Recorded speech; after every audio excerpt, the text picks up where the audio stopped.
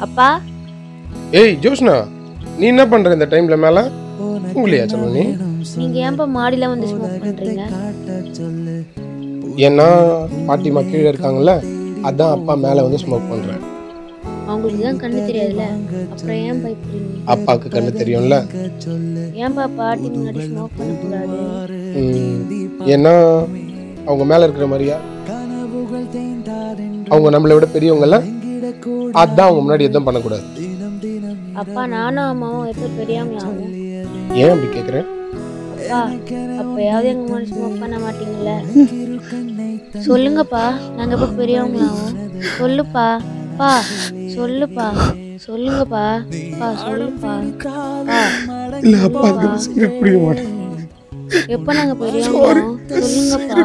Please சொல்லுங்கப்பா.